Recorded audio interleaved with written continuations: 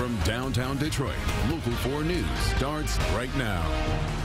It's nice to find a good deal on something, but when you look at the little sticker on the bottom of that toy or lamp, it generally is made somewhere overseas. However, when you buy a car, that windshield sticker includes six pieces of information about the origins of the car's parts, the final assembly point, and more.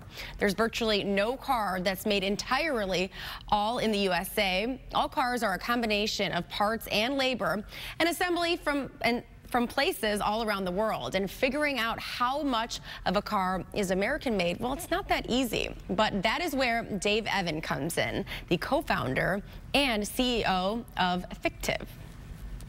Hey, Dave, how are you this morning? Good. Thanks for having me. Absolutely. Good morning. Absolutely. Uh, why, why, don't we get started? What is the Kogod? Uh, what is it made in the American Auto Index, and, and how does it work? Yeah, it's a it's a great question. It's not a simple question anymore. Of hey, is my car American? Like, what is what does right. that actually mean uh, here? You know, parts are sourced from around the world.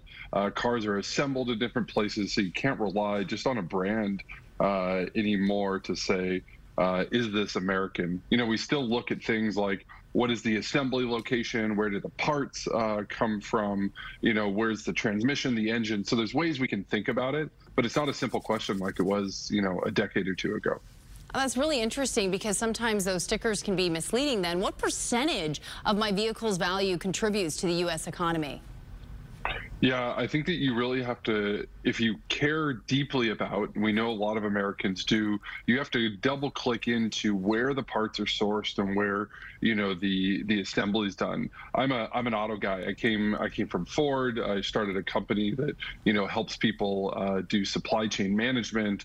Um, and so our beloved F-150, right. you know, that that Americans loves, like that's actually ranked 21st on the list of the really? most American car, uh, which is surprising. You know, you think F-150, and that's that's a symbol of America. Yeah. Um, but even even that, you can't rely on a brand to say how American is the is the car anymore. I guess that those are important questions to be asking. Uh, we're about to put the top uh, most American-made cars on the screen. While we take a look at those, can you talk about why it's so important for consumers to know exactly where their cars and the car parts are, are made?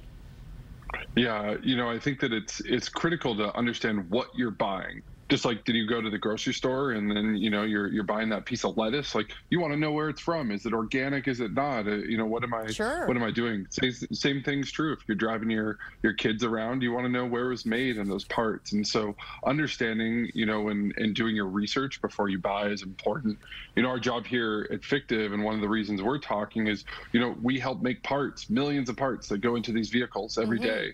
and i have to tell you some people choose local and they want to make it domestic, and other people choose global in this. And so, you know, it's really uh, uh, uh, with all the supply chain chaos that's going on, um, understanding where the parts come from in your car is a critical critical buying decision. Okay, I got one last question for you. Do you think the electric vehicle revolution will change any of these stats?